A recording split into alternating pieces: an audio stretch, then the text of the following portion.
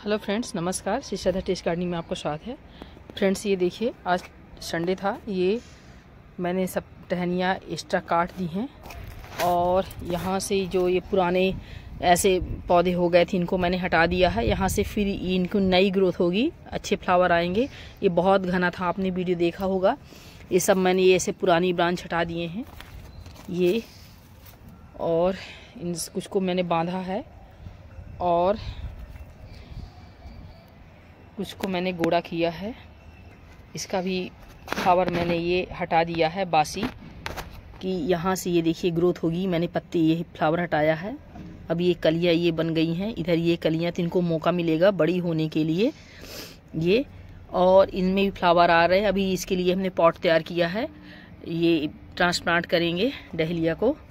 इनके भी मैंने कुछ पुराने बासी फ्लावर हटा दिया है। अभी इसका गोड़ा रह गया है शेष। ये देखिए, इसका भी, सेवंती का भी मैंने और कुछ गुड़ा किए। और फ्रेंड्स, ये टमाटर की हमने ये प्रून किए हैं। ये बहुत सारी ब्रांच, ये देखिए, अभी अभी मैंने यहाँ से ये प्रून कर दिया, ये देखिए। तो जब ये नई ब्रांच आती हैं तो फिर ऐसे बड़े बड़े ये टमाटर मिलते हैं, बहुत ज़्यादा गुच्छों में। और यहाँ से भी ये देखिए, अभी ताज़ी हमने कट किए हैं। कई सारे ब्रांच हमने यहाँ से काटे हैं। ये देखिए, ये तो फ्रेंड्स, ये पुराना ही पौधा है। मैंने वीडियो कई बार शेयर किया तो फिर इस तरह के जैसे ही नई ब्रांच आती हैं तो ये बहुत बड़े बड़े ये टमाटर ऐसे गुच्छों मिलते हैं और ये गर्मी के लगे हुए हैं, जून के बीज से। तो देखिए कितना अच्छा लाभ उसी टमाटर पे हम ले रहे हैं। ये बड़े बड़े और यहाँ से भी अभी हमने काटा है इसको। ये देखिए, ये यहाँ से। जो एक्स्ट्रा ब्रांच थी जिसका हमने टमाटर ले लिया है तो सब ये काटते चले गए। और ये गोड़ा भी टमाटर में हमने किया है प्लांट में। कल मैंने यहाँ की सफ़ाई की, तुलसी जी के पास की और पुरानी टहनी मैंने ऐसे तोड़ के रख दी हैं। तो इसके कुछ चंदन बना लेंगे, कुछ दीपक जलाने के लिए आ जाएँगे इनकी जो सूखी ब्रांच और बाकी मैं पॉट में भर के जब तुलसी जी के लिए फिर इस्तेमाल कर लेंगे, पुराने पॉट में इसको भर देंगे धीरे धीरे डिकम्पोज होगा और खाद का काम करेंगी।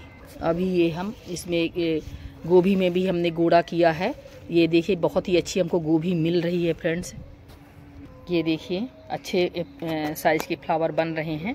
इधर ये ढेर सारी गोभी लगी हैं और यहाँ यहाँ से मैंने कई तोड़ भी लिए। कुछ ये गेंदा के पौधे हम लगाए हैं। और फ्रेंड्स इधर हमने ये लहसुन लगाए हैं और इधर प्याज लगे हैं। और इधर से ये मैंने घास, जो बथुआ वगैरह एक्स्ट्रा घास निकल आई थी, उनको साफ़ करके मैं यहाँ और जो है प्याज और लहसुन लगा दूँगी। फ्रेंड्स इन टमाटरों से जो पुराने पत्ते नीचे के ब्रांच की जो थे, ये मैंने हटा दिए हैं।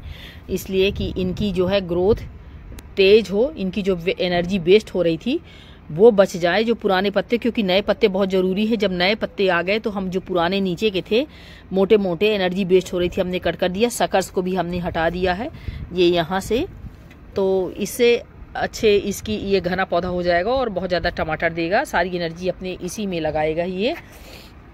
और फ्रेंड्स ये डहलिया का पौधा था, ये हमारा ख़राब हो गया था तो मैंने इसको भी ये फंगी साइड पानी में इसको किया, फिर इधर भी डुबो दिए, और इसकी जड़ें सूख गई हैं। अब इसमें हम ये वेस्ट मटेरियल डाल के इस पौधे को लगाएँगे, क्योंकि इसकी जो मिट्टी हम नर्सरी से लाए थे, ये रेड कलर की, निकाले नहीं थे, हल्के ही ब्रांच खोल के, अभी जब बारिश हुई थी, इसके पहले इसमें बारिश हुई तो ये पानी फंस गया था बहुत ज़्यादा और ये बहुत ही सॉफ्ट पौधा होता है, बहुत ही अच्छा था। हमने कई बार वीडियो शेयर किया। आज इसको भी ठीक करेंगे। ये हमने वेस्ट मटेरियल डाल लिया है। तो दोस्तों, आज हमने बस इतने काम किया नमस्कार। हेलो फ्रेंड्स ये हमने डहरिया को ट्रांसप्लांट कर दिया है। ये देखिए, अब इसको हम चौड़े ही पॉट में कर दिए हम इसको बहुत बड़ा नहीं करेंगे। देखिए, कलियाँ आ रही हैं। हमने इनको इतना घना बना दिया है कि यहाँ ये सब जगह कलियाँ आएँगी। ये देखिए पुराने पत्तों को हटा दिए। चारों तरफ़ इसी तरह ये ब्रांच ढेरों हैं, इन सब में फ्लावर आएँगे। ये देखिए, चारों तरफ़ से। तो ज़्यादा लंबा नहीं करेंगे, इसलिए हमने इसको गहरा पॉट नहीं लिया है। और अगर ज़रूरत पड़ेगी भविष्य में तो फिर हम बड़ा पार्ट भी ले लेंगे। फ़िलहाल हमारे पास नहीं था तो हमने इसमें लगा दिया है और इन्हीं इन्हीं ब्रांचों में आ जाएँगी। ढेर सारी कलियाँ ये बन भी रही हैं। ये देखिए तो फ्रेंड्स, डहेलिया में पानी बहुत नहीं दे वैसे ये पोरस टाइप का साफ्ट इसकी ब्रांच होती हैं और जड़ भी जो है, इनकी जो कंद टाइप के बनते हैं, वो पानी से गल जाते हैं और हम लोग नीचे थोड़ा वेस्ट तो डाल देते हैं। वेस्ट क्या है?